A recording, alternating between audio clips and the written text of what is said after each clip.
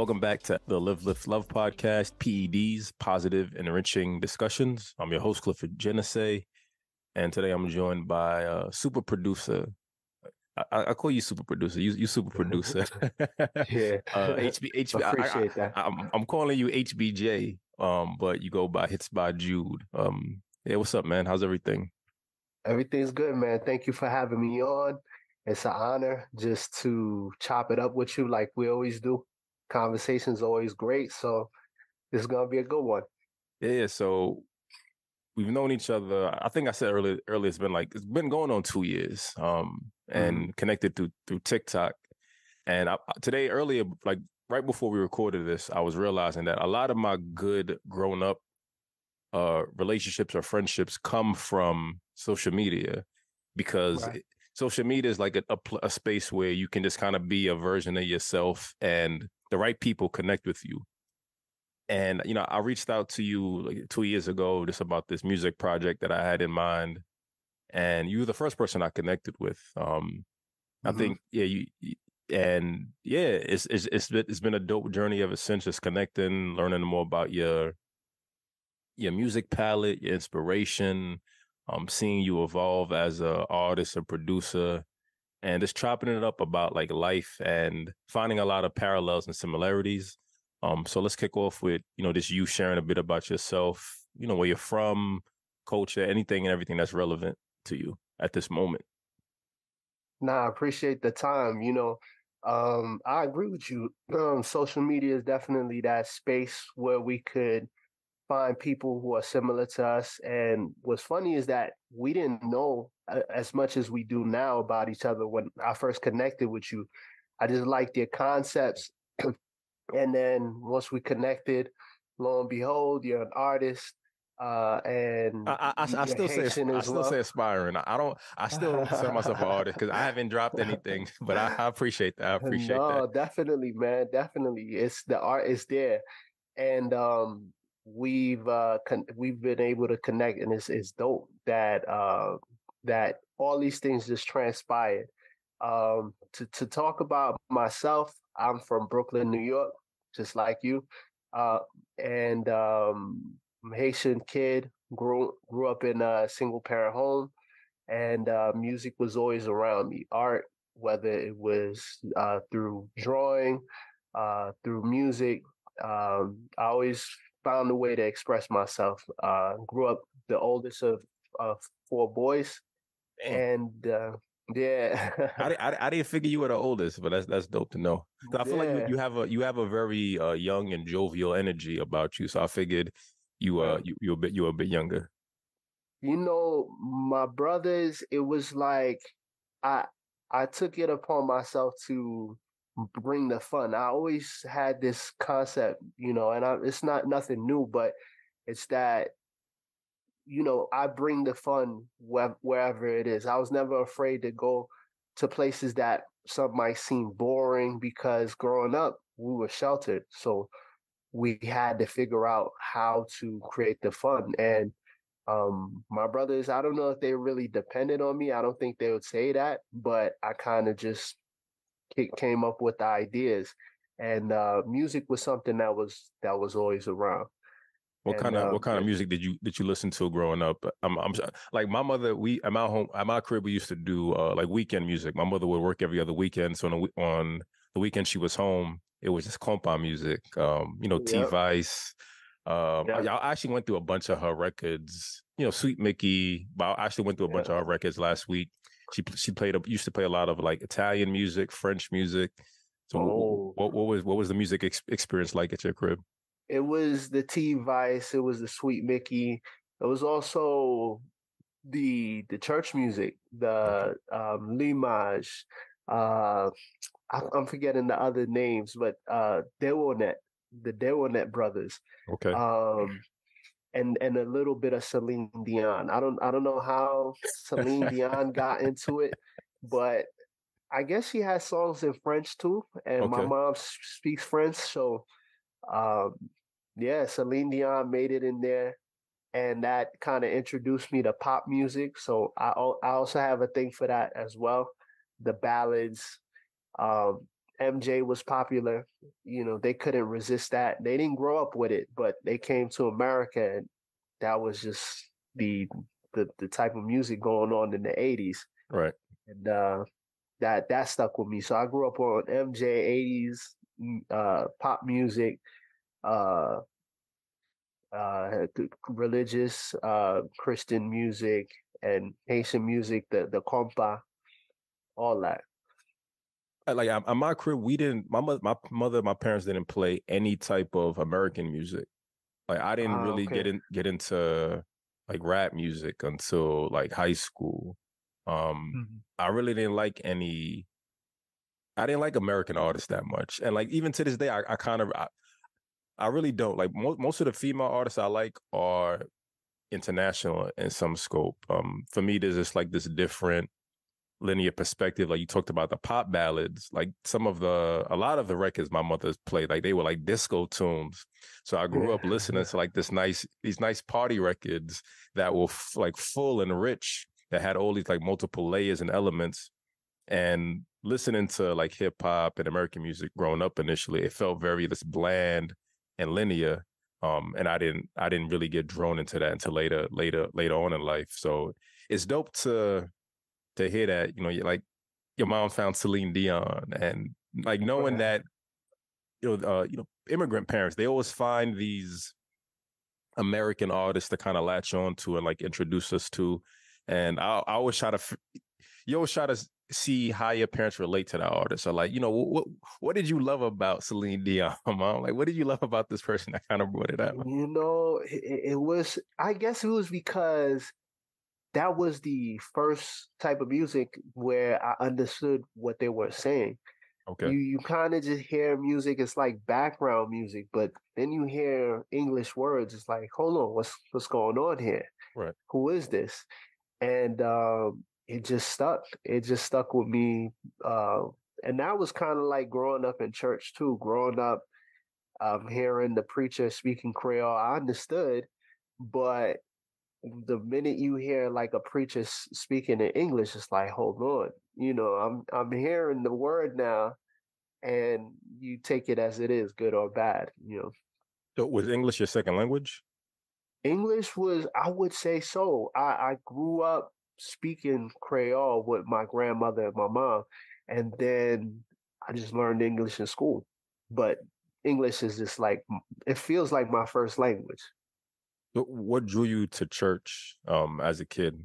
Well, most kids dislike church. Like I, I, I never I liked going too. to church. I never liked. I did not like it at all. I did not like. I can't remember a memory where I was like, "Wow, this is this is cool." There was like there was a one service where I was like, "Man, I maybe I've been I was wrong about this." You know, I wasn't drawn to it, but it was part of my childhood, and uh, I appreciate it. You know, there was some some lessons there that uh, I applied in my life in my more stoic phase. So, how do you, how did you navigate Brooklyn? I mean, I think how old are you again? I'm 32. 30. Damn, you you young you a lot younger than I thought. I'll be 33 in January. All right, Um, how do you, how, how, do you navigate Brooklyn? Right? I feel like that's always a challenge, especially I mean all of Brooklyn wholeheartedly, but yeah. you know Canarsie. Yeah. I grew up in Flatbush. They're tricky spaces to to navigate, and even especially you being an older brother. Like I guess for one, how did you navigate, and how did you help your younger brothers navigate living through Brooklyn? Um, I navigated with um, just understanding the culture.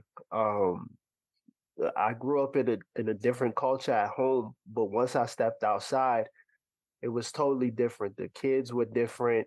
Uh, luckily, I grew up in a black community, so everyone kind of looked like me. They weren't always the the most friendliest. It was very tough environment um, at, at, times I'd wish that we grew up somewhere else, you know. And uh, looking back now, I, I, still see it as like, wow, that was a tough upbringing, uh, being bullied. Uh, but what helped was music. I remember being able to connect on rap music with my bullies. Like they would they would listen to music and and and I was like always hip on technology um, I would be at home a lot of the times. Growing up, I was sheltered, so I made the the mixtape CDs, right, and right. I would bring them to school, and the other kids would be like, "Man, they they they weren't really up on that type of stuff." You know, they were playing outside, but I would put the songs together, the the best songs, my favorite songs, I would, you know, gift it to girls on Valentine's Day. that was gonna be my that was gonna be my next question. That was gonna definitely be my you next know, question. Man, what man, I wonder if this one girl, I wonder if she still has it, but I, it was a dope CD. I I just I, that's that was my way in, you know, just being able to just navigate through through music and connecting with with uh uh my my peers yeah, mu- music is. I mean, it's known. Right, music is the the common denominator. It transcends language, uh, energy. Um, yep. So, did you did you? I mean, it's. I think it's dope. From what you're saying, that you know, it's dope that you realize and recognize that very early on in life. Like you realize there was a lot of power behind the music and the artistry. Um, I think on my end, it was just something to listen to, something to talk about with my friends I didn't view music and artistry as power uh, because I, I, like going back to being sheltered. I lived a very sheltered life too, but my my focus was just very linear on school, like you know, traditional Haitian household. Yeah, go to yeah. school. You know, come home before this time. You know, I wanted to be a dentist growing up, and you too, man. you wanted to be a dentist? I did. Man, I went to college thinking I was gonna be a de- yo. We, we still finding stuff out about yo, each other. That's why. Yeah. So I just did this. Um, you know, I mentioned I got a, a new job at this nonprofit that helps students, and I did like this panel talking about uh, my education. So I went to Bridgeport, University of Bridgeport, for to ah, study okay. dental hygiene for two years, and my goal was to get my associate, start working as a hygienist, um, and then transition into like you know get my bachelor's degree and then dental school. So I did the two years of dental hygiene. I, I, was just terrible. I'm I'm bad at math and science. Like I I I, I, I appreciate them as concepts to like learn and explore, but like pen to paper memory, like I, I, that's that's not me at all. And and, and it was bo- it was boring too. Like it, I, I wanted something that was interactive and you know thinking about where i am now in life in terms of like marketing and wanting to be an artist to me there needs to be some type of direct communication and inspiration and having my hand in someone's mouth like that doesn't add any value to my life it does to I, their I life, that. but t- tell me about like what, what, what led to you want to become a dentist? That, that's hilarious, man. You know, it, if you if you say the same really... thing as me, it'll be hilarious, dog. it'll be. Oh man, you know what? Now that it, it stemmed in high school, I was okay. in dental laboratory. Okay. And I went to Clara Barton High School. Oh, I almost went there. My mom was oh, like, "Nah, I don't go there." My mom was like, "Top vagabond, you're not you're not going there for high school." Oh man, I wish I wish they told me that. um, so they had the dental program, and when I got to college, I met my mentor who wanted to be a dentist. He told his story to a group of us, and I was like, "Oh, this is my trajectory." Seeing another black man that it, it made sense. It was like, okay, this was what I was supposed to do. And uh, started taking the same science classes, the math classes. I flunked one, and I was just like, "Yeah, this this ain't it." this it took one. He checked yeah, out. That's right. it took that pre-calculus. Ooh, man, I, I couldn't do it. I could not do it. So yeah, that that's my dental story. It was it it started in high school. It was a, a form of dentistry, um, working with the dentists and things like that.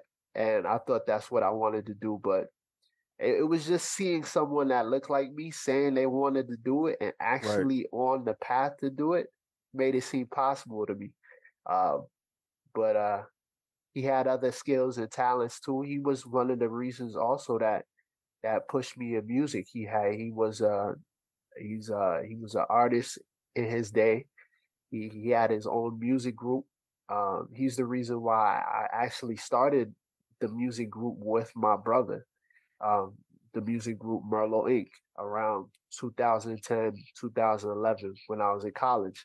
Okay. And um, I was like, yeah, I think you might be able to teach me something about that, and uh, I'll let that other dream go. Is he still your mentor? He's more connect? like a big brother now. Okay. Um, he's he's in the fashion he always was since I met him, and um, he's always still encouraging me. But I'm finding my own way right now. The Live Lift Love podcast is sponsored by the Black Excellence Shop. Shop our Black Excellence calendar, journal, and bundle at blackexcellencedaily.com and download the Black Excellence Daily app for Android and iOS. Learn, journal, inspire. BlackExcellenceDaily.com. So he's more like a big brother. I wouldn't label him mentor. Right. I used to say that a lot. Right, right, right. So what's the what what was the I guess what was after dentistry once you realized it wasn't for you what what did you uh ch- change your degree to? Um well I saw that I liked public speaking and I, I was always nervous speaking in front of groups of people, and I, I looked at it as a challenge. So I, I went into speech communications, um, only because you know I didn't think about the job I could get after college. I just looked at the skill, and the skill that I really wanted to overcome, especially in seeing my mentor. He was a great uh, public speaker as well. I wanted to learn that. I wanted to learn that whether it was performing on stage, whether it was inspiring young men, uh, young black men who who may have grown up in the inner city, in the urban environment, you know, who may not have had a dad around. Uh, I wanted to speak to them and tell them like, hey, look, I I made it to college. You know, right, right. That, now that's like common, but growing up for for me, I did I did not see that. I did not see that on my block and um, yeah, I wanted to speak to to speak to that crowd. Did you see so, that in your group of friends and peers? I started seeing that more once I got to college. Um, I started meeting a lot of intelligent individuals. To this day, they they made uh, a lot of themselves. So the world is a lot much more bigger than Canarsie. That's that's yeah. that's the realization. Uh, you know, we'll, we'll touch on uh, pass. I, I know I say passport bro culture um, yeah. but I, I, don't really, I don't, I don't know if you consider yourself a passport bro, but we'll, we'll, we'll jump into that in a bit. Um, I am. yeah, I hate you here. yeah. you, so you said you, you formed a group with your brother in 2010. What was the music journey up to that point for you?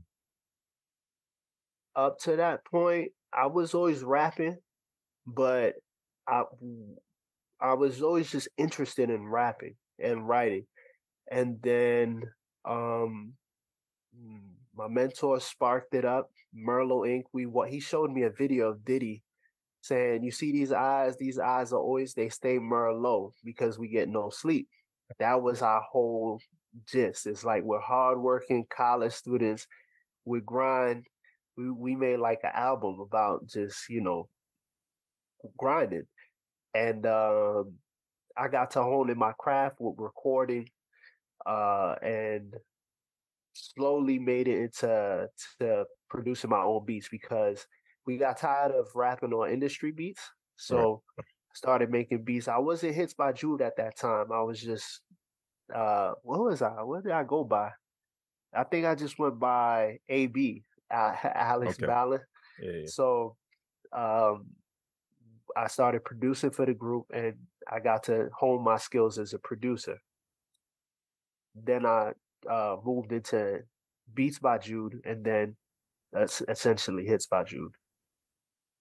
So yeah, I guess t- tell me more about the group experience. Um, what did you, what did you realize from the experience? Right? Did you did you realize like you're more your group person? Do you work better individually? Like what what manifested from that experience for you?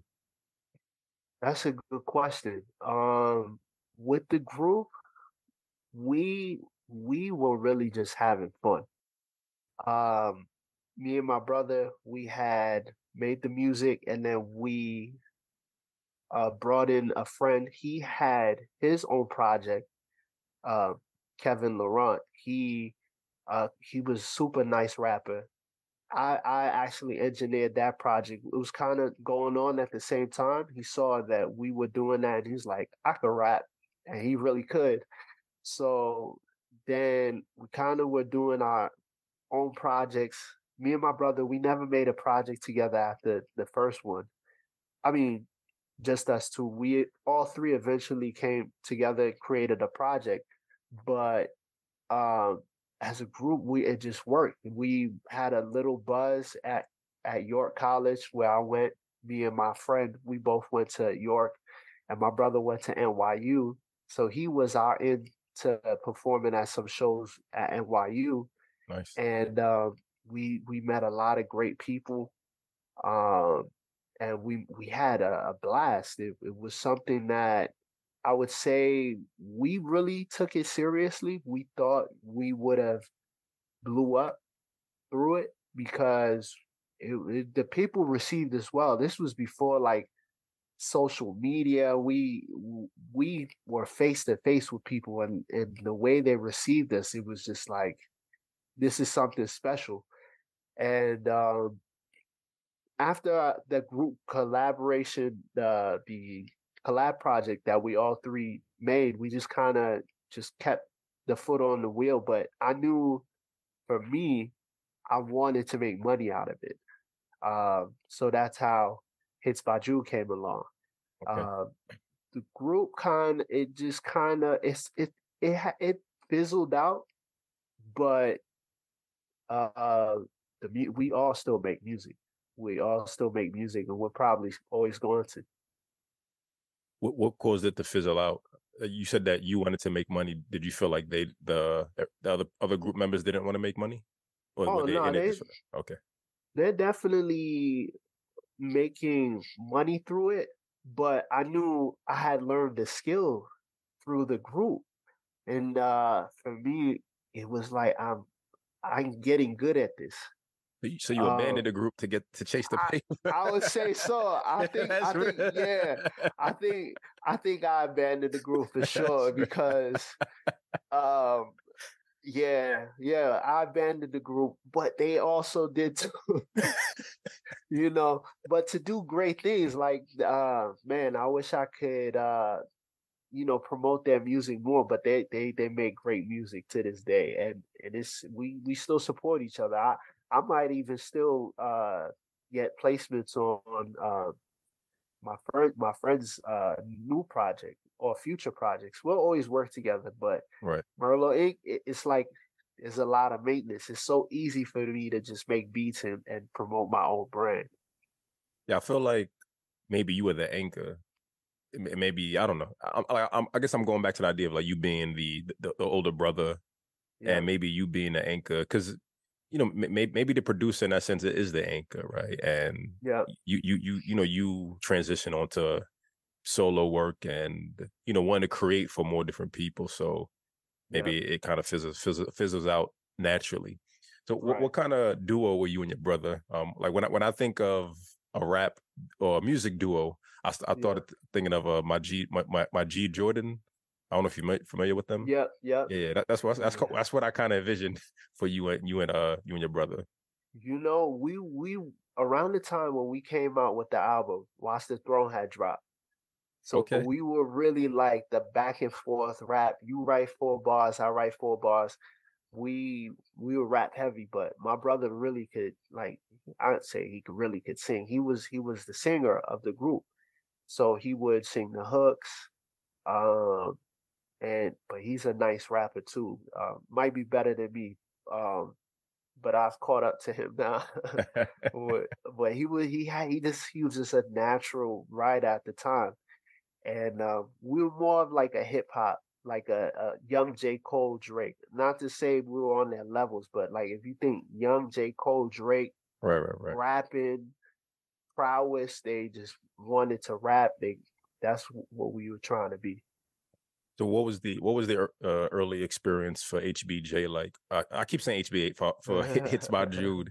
Um, you, you know you you branched out on your own. So what what was those what were those early early experiences like? How how was it um, finding artists to work with or being called on by artists to create and support their project?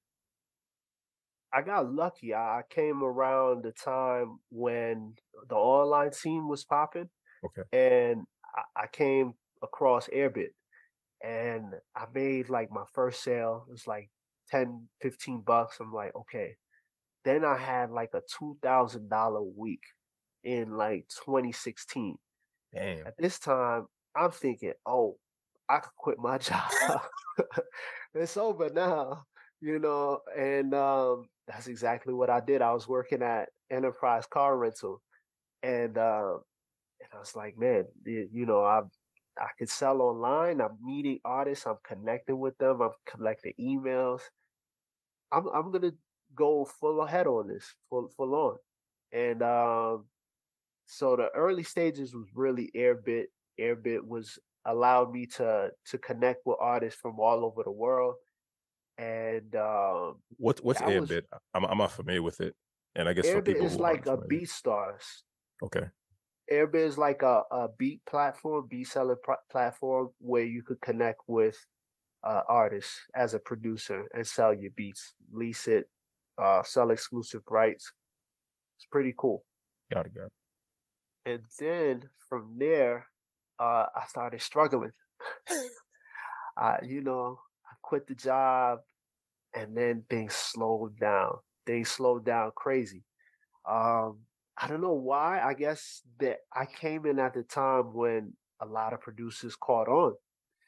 And uh, at this time, a lot of producers were making a killing through Airbit, but uh, I came in kind of like at a sweet spot right before it started getting saturated. So, um, uh, yeah, and and and you know, I I didn't really understand the game. I just had the talent.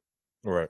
So when it started to matter, like understanding the business aspect, that's when it's kind of like you kind of needed to understand the business. So uh, that's that was my journey. Um, through it, I've met a lot of artists.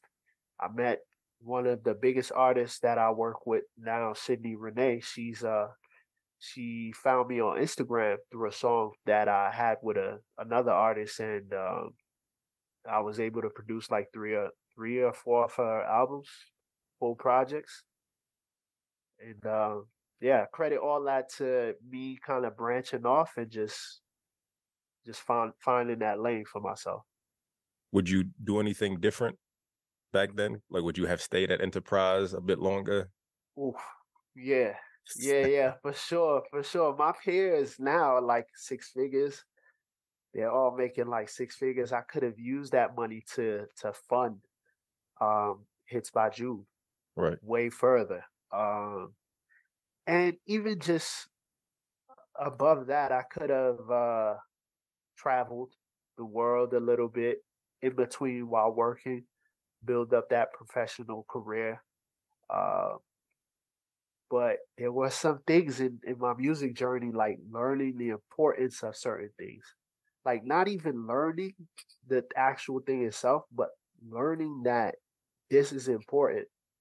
If I was at work, I probably would not have have uh learned that. You right. know, this was like mid journey in the middle of this whole journey from the point where I started to where I'm at now. There was a a month I think that month when I quit, uh, I started struggling immediately, and I was looking for answers, and I found one. It wasn't the complete answer, but it was an answer that it's just like this is this all makes sense. You know, I wouldn't have cared for this if I was working. You know, learning how to mix, knowing the importance of mixing, and then going after it. Uh, what was the answer? it was it was learning how to mix like certain things needed to sound good. Yes, you have the raw talent to just put it together, but now you need to learn the business aspect. That month away from enterprise gave me I did hop back into the workforce again, but that month was crucial. You started struggling. You found the magic. You found like you found the the next layer of your artistry. What was the strategy from there for you? Mm, that's a good question. From there, I, I got back into working, and uh, I knew I had to just find a balance. And it's really been business. It's been business from that point on. Um, I had faith that I'll always continue uh, to absorb like inspiration and constantly be inspired by the music that was out, um, and just listening to my peers. So I I work I work more closely with artists. That's why Sydney came along. Uh, there was Kevin Antonio, and there were a few other uh, artists that it kind of helped me get into the spaces that I normally wouldn't have gotten into, and kind of seeing what what the artist needed. So, um, artists always just gave me good feedback on my beats. Uh, I'm thankful for for. I just mentioned him, Ke- Kevin Antonio. He told me one time. He he's one of the reasons why I went uh, why I turned from Beats by Jude to Hits by Jude because he told me that I had like a top 40 sound and um, that kind of just made me think that okay these are not just beats but these are potential hits right right right. and um, the feedback that artists have given me has always just been able to help me grow and so um, while i had my beats on online and selling it online I took more focus on working with artists more personally now that I had some sort of a clientele to, to work with. What's what's one of the most important things for you when it comes to nurturing artist relationships? Oh, honesty. Honesty. Yeah. Um, music is so fickle. The industry is so fickle and and everyone it feels like everyone is lying um, you know, it just, it just, it's real. just like, man. Um, so the greatest thing you could give an artist is is that brutal honesty before they have to either get it from the world or not really not understanding why the music isn't clicking because right. sometimes people won't tell you you know i i'm sure there are friends of mine who don't like my music but they they they don't care enough to say like it's not good, or maybe it's not bad, but it's like it's not their their their taste. But they won't even tell me that at times. You know that would be helpful. It's not that you like it, you don't, or you're hating, or you're not. It's just it's just not for me. Right, right, right. Um, so that that brutal honesty and and for me personally, when I'm given that brutal honesty, knowing where I am with my own like just journey in life. So that is coming from a neutral place, not um out of hate or you know or just because you're my friend or it's it's really like being objective so uh, objectivity and and brutal honesty yeah i, I feel that, like the, it go ahead that balance. Yeah, it's it's difficult to get objective opinions from people you know, um, which is which I always I always find interesting because you know thinking about like my peer relationships like you like even you saying right honesty is your foundation right and right. i'm sure i'm sure that's not something that came about through music. I'm sure that's something that's been the foundation throughout your whole life and like your friends and family know that about you but when it comes to something you love and passionate about they're like i don't i don't want to be honest with him in this in this sense right? Right um, right. and, and maybe i think and i like hearing you talk about it i think maybe sometimes they don't have the the skill set or the language or the appreciation to like catch the things that matter to you right like the, the everyday yeah. person yeah, the everyday friend who isn't a music enthusiast, who isn't an audiophile, who um, isn't respectfully cultured or diverse, you know, they just they just focus on the drums while you got like five right. different layers behind it, and you're like, yo, right. what, what, about yeah. the piano? Like, give me, yeah. like, there's always something, but it's right. just you know realizing your audience, right? Like who, who you yeah. who you presenting it to, and the the goal in the artistry, right, is being able to connect with people who can provide feedback so by the time it reaches the friends and family, it's already it's already hits by Jude, right? It's not right. It's to that, and it, to them it's just a beat, but to right. you it's a hit, right? That oh, this is a dope beat, right? They don't they're not thinking about it as a as a as a hit. That's why. No, I, yeah, they're not. They're not, and and I get that. It's either they like it or they don't. And it's not all the intricacies that go into it or you know like you said that that that that language to to speak to to the music is just hey it I, it hits me or not right so I like that. I like that you said that that you uh, expressed that because maybe someone could be listening to it and and maybe saying, okay, I have a music friend. Maybe I need to articulate it, or or maybe the the artist on the the someone who's in my boat might need to understand that they just don't have that language. Right, right, right. right. That, that that is the challenge, right? Um, you know, through you know through the joint project we're working on, I also have I'm also I've also asked you to support me with like my first music project, and that like that's always my concern and worry or this innate fear like people aren't being honest with me right? Like like like that you know i wrote that verse to um that first intro track and you were like all right that's cool but give it a second give it a second try right? Like try second verse and in my mind i'm like it, like is that is that an indirect way to saying the shit is whack?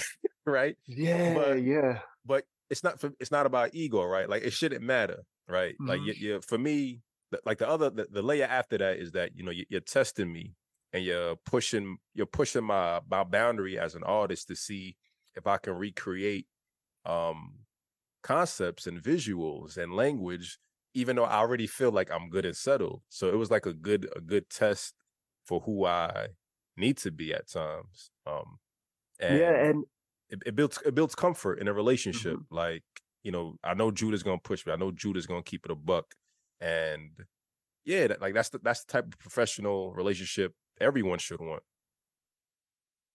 Absolutely, especially in this sometimes unprofessional space where um, you know uh, sometimes people might not be professional. So yeah, it's it's very important.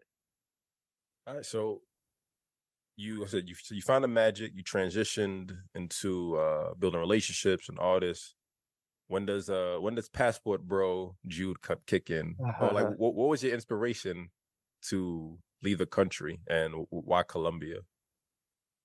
So colombia came across i came across colombia on the internet and um what it sounds so it, simple right? He said i found it yeah, on the internet. I like that. Yeah. But it's funny because again music was able to help me connect with uh, artist, and there was an artist who had a, another producer of his uh, by the name of Lamont, who was living in Colombia, and he was also a producer.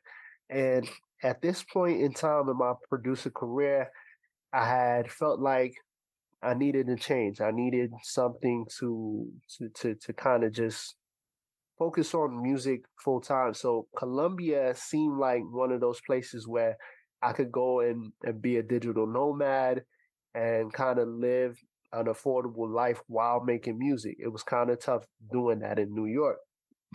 So when my artist friend had mentioned Lamont, uh, this was like a year before I even got to Colombia. I didn't think much of it.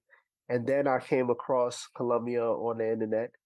And uh, that's when I connected with Lamont and um, I came out here on the strength of just wanting to to to do music full time and kind of kind of live outside of the United States. I always wanted to travel.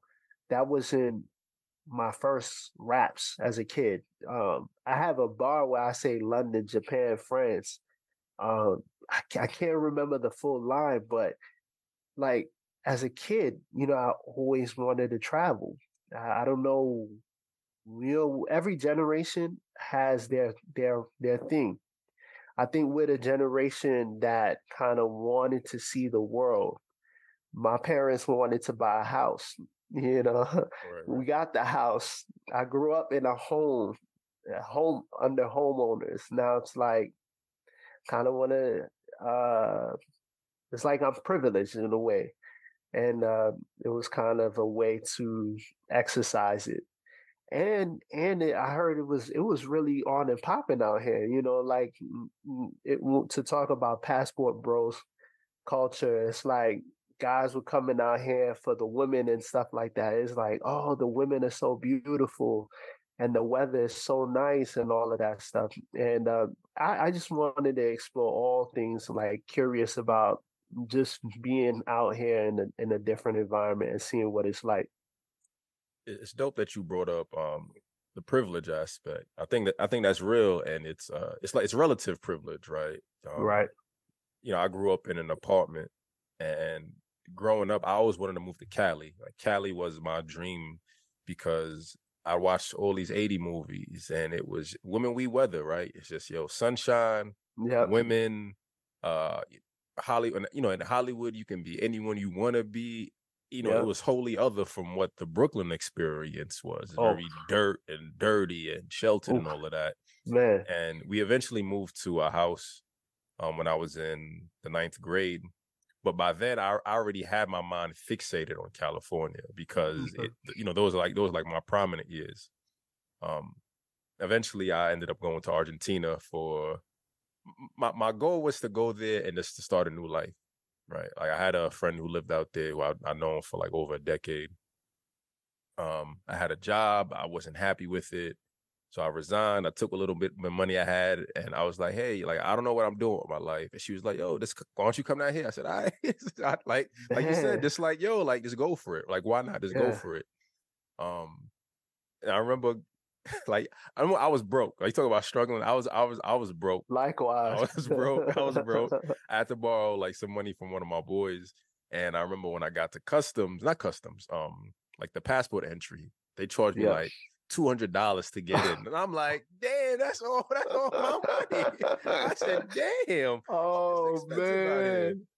Um, oh man. So you know, I, I, get there, and like I feel like like you, my mindset is just on a grind, right? Like I'm not here to have fun. I'm here to build something for myself. Absolutely. So I'm on Craigslist back when Craigslist was popping. I'm looking for jobs. Um, like I interview for a job. Yeah, yeah, we'll call you back. Call you back. Nothing. I interviewed for like a teaching position, a, a, a English teaching position. Um, wow.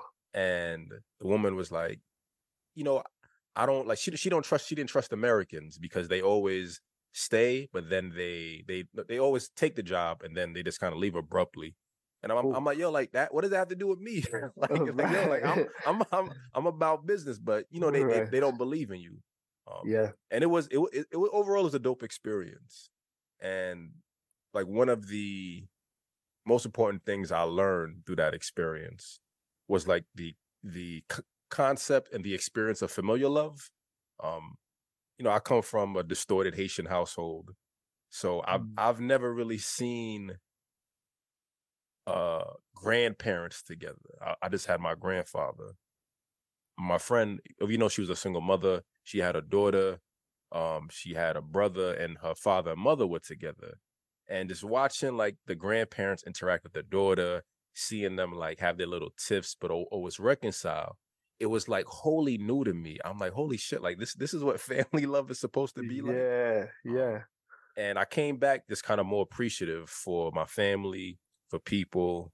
Um, so like wondering what, what, what have, what, what's like, what's been some humbling or like some real awe-inspiring realizations living in Colombia for yourself, a family, mm-hmm. like anything?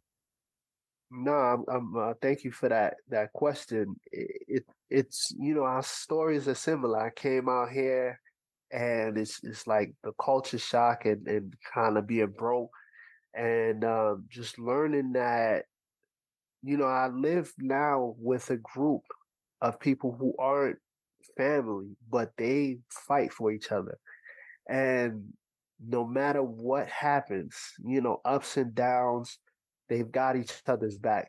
And that's the real Colombia.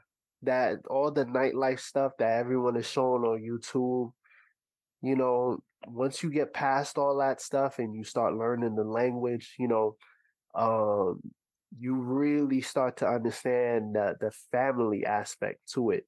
And what that's given me is that, you know, I, I've healed not completely, but to to to a great extent, I've healed some of the relationships back home.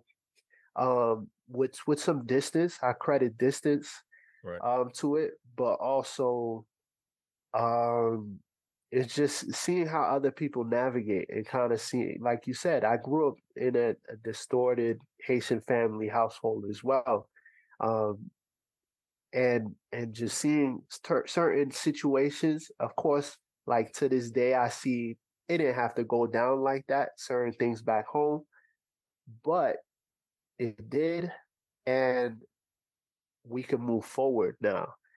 And um, Colombia has definitely opened up my personality as far as just uh, seeing that love kind of starts with me. You know, is I was robbed out here, so after that situation, it was very, very sour, a very sour town. Um, I was questioning all the relationships that I had, who might have set me up, and um, but through it, it, it's just like I can't walk around feeling like everyone is untrustworthy. Right, right. Now, of course, I keep my head on my on the swivel, but I think me carrying that energy perpetuates that that feeling like I have to keep my head on the swivel. If I if I give that energy out, it bounces back and then now I'm looking at that person like something's wrong with you. No, you I started it. you know what I mean? Yeah, That's my real. country, you're walking around here like, yo, should I be worried about you? You know, this is this is the environment. But uh it's all love. It's all love. Um, not all all love like with everyone, but right. um I've been able to find my way what are your general feelings about passport bro culture? Um, and you know, I'm I'm thinking, I, I always think about the parallels in our lives. You know, yeah. Um, you know, I, I, moved to Argentina in 2012, uh, so you know, I can, I'm like original. Pa- I'm like a passport bro uh, alpha. You know, I'm like the original man, omega. Omega. Been, yeah, it must have been on fire at that time, man. Um, and a, a lot of it was it, it was a lonely experience. Um, yeah, because you know, although I had my my my female friend, you know, I was living in a hostel, and I feel like you know, being from New York or being Haitian, right? You know, you flooding, right? Wherever you go, you flooding. You yeah, go out, you explore. Yeah. You, I remember I walked like two hours to get some Chinese food because like I didn't have anything else to do, so I'm not I'm not gonna right. sit home and be miserable and sad. Like I'm gonna go explore. I'm gonna learn the city as much as I could. Yeah, I was working on my Spanish a little bit. I was a little bit. I was my Spanish was improving naturally, um, but it was a, it was a lonely experience, and uh, for me, it was lonely because there weren't any black people. Um, the only f- few black people I've seen were like the African, uh, like Africans on the African vendors. I think that's the best way to say African vendors, and maybe like one black soccer player. And I feel like a lot of current ca- passport bro culture is about like escaping blackness and that's not something I ever wanted to do. Like I, I didn't, I didn't. Although, you know, the the black experience is traumatizing and it's draining. Um, I didn't go there to escape blackness and to be immersed in, uh, you know, whiteness essentially. So, yeah. Wondering, like, you know, what what's your perspective on passport bro culture, and how do you like honor your honor your culture, your Haitian culture, while still being out there, your black culture while still being out there? You know, like Argentina must have been rough because it's definitely it's kind of like that here too. Um, and what I do to kind of honor the cultures, I always mention to people like, um, yes, I am American. I'm proud to be American, but uh, my family are Haitians as well. We grew up with a very strong culture. So I always ex- explain like a lot of my values come from Haitian culture um, in these spaces, and there's a connection between Colombia and Haiti. Uh, a lot, a lot uh, if goes further back. Uh, well, I, I, I don't want to say that. I don't know if it goes further back, but there's a strong connection between the two countries, and they honor the that that aspect as well. So, and I always make sure that mention that my folks are immigrants in America. So um, they made uh, something out of themselves in a country that's that's kind of hard to to make it out. So I'm proud of my Haitian culture, and I hope one day to make it there. Um, the experience here is is lonely. Um, so what I've done to navigate that was really step step away from the passport bros that that that the, the, the popular um, uh, concept of what a passport bro is. A lot of these guys, yeah, they are trying to escape blackness. They are trying to find, uh, so to say, you know, better women. Uh, and they, they go to these cultures and they, they kind of leave a stain on what it what an American uh, person is supposed to, to to be like. But I try to uphold um, what I believe to be an upstanding uh, Haitian American. And I do that by like learning the language. I went to school out here to kind of like fill up my days. So that was one thing that took up in the two years that I've been here. There was a year where I was I was studying Spanish. I was like a student. Um, I I got into reggaeton. I, I, I there's a great African uh, African Afro Colombian uh, group out here. So I've been able to connect with some of those people. They're actually some of my better friends out here, and um, and just just trying to connect with that community and seeing how we can bridge the gap. Um, that's been able to make the experience a lot better for me. How I, I still consider myself a passport bro in the sense that I'm using my passport to go and learn different cultures and bring my culture and bring myself to to these people. You know, I don't know if I told you this, um, but I, I picked up a waitering gig nice. uh, out here for a few hours of the day. So a lot of the people, you know, they'll see me, they'll think, "Oh, he's an African Colombian kid," and then they'll hear my Spanish and they'll be like, "Yo, where are you from?"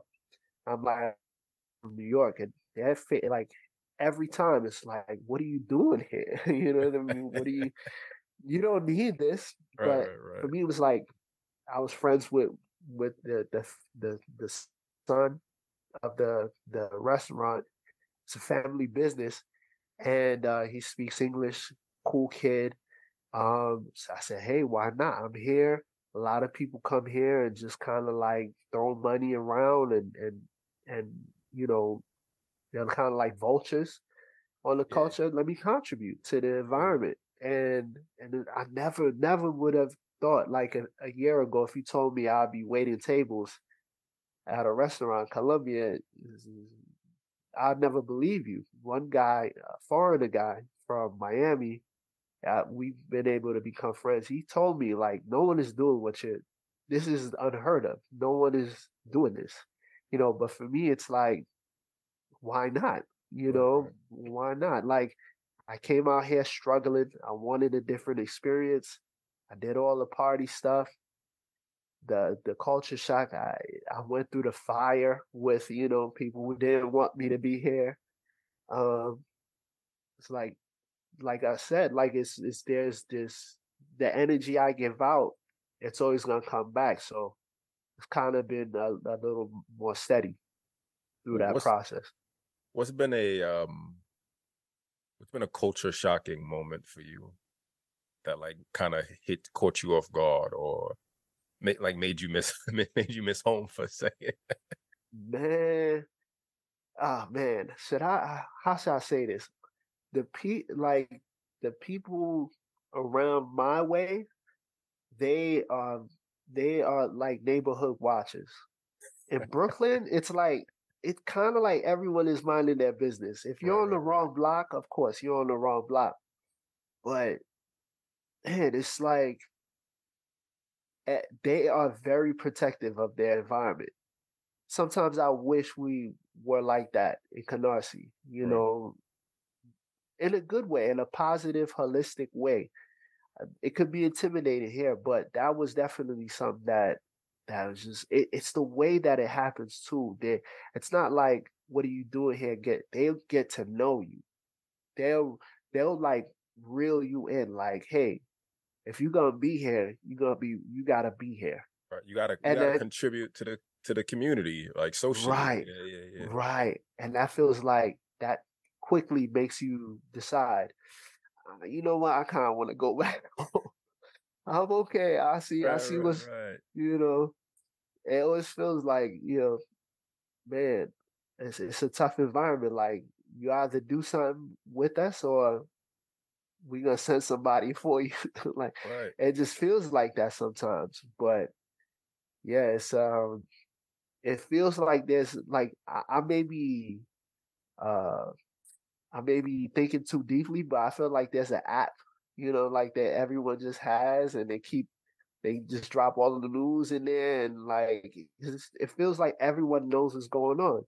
When I first started working at the restaurant, there would be people who, who would come and they would be like, Alix, I'm like, how do you know my name? Like, I'm like, oh man, this is this is spooky. You know, th- there's there's no what you're doing again is I guess is groundbreaking, right? Like you're you're the the rarity. Um, I feel like Lam- Lamont too. Like he's immersed in the oh for culture sure. because he's been there for a minute. It's not it's not for being an introvert, right? Like if you want to be an introvert and be reclusive, stay ass in the United States Man, that because shit that's how they look at us. That's how they right, they view us like, oh, these introverts who have no personality. right, right, right, right. you know, it's like Jesus Christ. So I, I only lasted one month in Argentina before my money ran out. Um, well, two things happened. Number one, my money ran out, but I also realized what I wanted to do. Like my goal, like I was on Craigslist looking for jobs. I was like, you know what? I want to work in a college. So it just it like it, it it balanced out perfectly, and I was on a flight back to um New York after that. How long? How long have you been in Colombia? Uh, it's, it's a year and nine months. That's that's that's a Yeah, salute, man. You, you- that's that's. I had a uh lot of help. I had guys that have been here for like 10 years, and you were doing it at a time when there weren't really a lot of foreigners. Like this place is flooded with us on this side now. You and no, know, no a no lot of remote people could come here now. Right. Yeah, Oh, that's also something to oof, consider, it was right? it was must Yeah, have been rough. yeah, yeah. I left. I left in a month. It was definitely, Man, yo, that's rough, that's that is, I couldn't do it. I I mean, if you look at my situation, I probably should have left it after a month. But I was holding on like I want to make music. And Yeah. you, you, you- and I- and I, I think that's that's also part of it, right? Like like the the perseverance and um being lin- linear, more linear focused. Like you you went down there with uh, you already you already had like music in mind. You already had a focus in mind. I went down there hoping to find more of like my life discovery and what I wanted to do. Um, I, I was also thinking of 10 years ago. Wow. yeah, yeah, yeah, yeah. I was also thinking it, it's weird. It's funny how you know two Haitian boys from Brooklyn go Yeah. to South America. Like you know, we just skip over Haiti. We're like, ah, fuck, fuck that place, man. Man, I I want to go, but but but knowing that, right? Like if things were different, like if if if there was progress, right? Like you know, we could have been passport bros in in Haiti, right? And like, I'd never leave. I right, never leave. I set up shop. I set up shop. That's the dream. I that's the fuel. yeah, You know, the closest was DR. I always entertained it, but it's it was always to get close to Haiti. You know, I wanted to know why is my mom the way she is? Why is my right, dad the way he is? I don't I don't understand it. You know, we just see them in the New York environment, right, right, right, right. but oof, Haiti is the dream. Haiti still it still is Yeah. for me. That's the ultimate passport, bro. Move. you know. All right, so we got a few min- minutes left. Um, kind of want to talk about where you are right now with music, and then transition into like so, some advice for up and coming artists. Um, yeah, yeah, wh- wh- wherever you want to start and lead. So right now, I'm in the nurturing phase. I'm a teacher, nurturer, um, and I just want to maximize artists' uh, career. I have, you know, I'm working with you. I'm working with another artist by the name of Kyle Bethel. He's he's new to just music entirely, and I, I I'm in a belief that anyone could learn. the skills that it takes to learn how to rap or if it's to make beats if you want. Um, Sydney Renee, she's she was just strictly singer. Now she makes her own beats and she always encourages me to start some sort of course. I really don't know if I I want to do it. At, may I'm just gonna see if it comes to me, but my uh desire is really in just maximizing uh, artist potential, and um, that's that's where I'm at. Well, and the other question you said. Well, I'll, I'll lead in, lead into it a bit. So, mm-hmm. you know, I mentioned that. You know, I, I still call myself an aspiring artist because there's nothing there, well, not like nothing, um, nothing published officially to like for me gotcha. to kind of make that claim, and I think I'm I'm all over because I'm trying to find. I'm aware of my challenges, right? Like one thing you told me that has always stuck with me was was the pocket, the pocket, the pocket, the pocket, finding the pocket and staying in it. And at times I'll find the pocket and then it just kind of dissipates. And then I'll feel motivated and inspired. And then like my swag is off. And then my swag is off for a few days. So like what's your word of advice to artists who are trying to boost their confidence in music for the first time, who are trying to, um, I guess, also find their identity. Like I, I genuinely believe like I'm a dope writer. Like I look at my lyrics and I'm like, you know, like yeah. I give myself that head yeah. nod. For sure. I can't I can't I can't live I can't live in the music yet. I think that's that's my challenge, right? I'm I'm not finding myself living in a, in a lot of the music music yet. So what's the advice to me and other artists like that? I would say like whoever your your favorite artist is, listen to them. Any artist that might uh, you know, listen to everyone, but really study the ones that you feel are just like amazing. And keep build up that curriculum with artists that are better than that artist. So, so if your favorite artist is Adele, that should be like the standard. That you should be a student of Adele. Let, sprinkle around a few other artists, but the ones that you feel are just like I can't compete with that. Compete with that artist. Okay. and like it just elevate yourself. Elevate yourself th- through that and create as much as you can. Like you said earlier, we were saying about the writing the second verse. Part of it, for some artists, it may be that, hey, I didn't like it, but part of it, it's really like, okay, you got this one verse, it was cool. If you did a second one, now you can choose between the two. And if you have a third, you know, you could you could choose between the three and it's and, and it's kind of a way to stay away from this bad habit that a lot of us who who uh you know just been doing it naturally we we kind of like just make a song and this is the song that's gonna be out. One take hold like, right? Right like you're not home we, not we don't want this habit. We don't i i gotta do like two three verses of a beat these days before i, I publish it because beats making wasn't natural to me. I had to learn it. So, um, quantity, but put put out the quality, create in quantity, and um, study the ones that absolutely like. I saw NPR Sam Smith, uh, and I'm like his vocals, like make it seem like no one else could sing. So if if you're a singer, you have to kind of just in a way study study how he delivers his performance what makes him great. So it inspires you to make better music not to discourage you but it's like like i want to be bruno mars level. Right. i might not get there but i'm reaching i'm pulling myself up. And uh yeah just just just constantly keep that baseline. Once bruno is no longer the standard uh, or any artist, whoever you deem to be that that standard. For me, as as a rapper, it's no longer Jay Z, Nas, Drake. It's it's Benny the Butcher. Like he he's raw. Like his his versatility is just like no that he may not be the world uh biggest rapper, but he's he's like my standard. If I could get as good as him, then I could look at the next best thing. And right.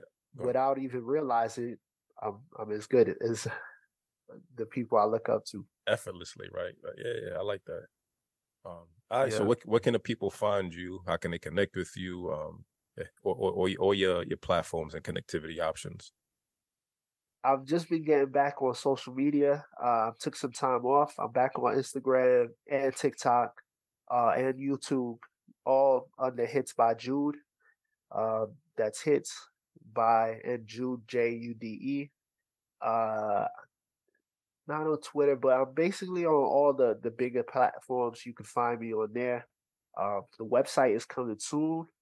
Uh, I still have a, a, lot of beats that I would love to place. So that's also a great way to c- connect with me. Uh, if you have interest in beats, uh, that's a great way to connect uh, and create music uh, right away. And uh, yeah, I'm I'm online. Maybe it's it's also not not them reaching out to make to connect with beats, but if they want hits, they should hit you up, right? If, right. If, if, if they right. want beats, they can go to someone else. If they want hits, right. they, they come to you. Exactly, exactly. the nurturing, the nurturing, the whole experience. You know, I, I was thinking of starting an academy, but that that's something I have to get started right away if I want to do it. Right, right, right. All right, man. Yo, I appreciate your time, man. It, it's it's it's funny that you know, again, after all after all this time, we still learn all these small things and similarities. Seriously, man, it's like we live the same life. You know, I, I could go to you for a lot of these these uh questions that I've had. And what's dope for me is like seeing you go through it at a younger age, and yeah. it makes me believe that you're gonna find it sooner. So yeah for me, you're like a gateway to the to the past, and uh, uh, yeah, yeah, you're like a gateway gateway to uh fi- finding solutions quicker, staying relevant. All right, man. I appreciate that. I yeah. appreciate that. Thank you for for for letting me having me on and talk about all this stuff, man. I appreciate it. No doubt, man. All right. Peace. All right, peace. Take care.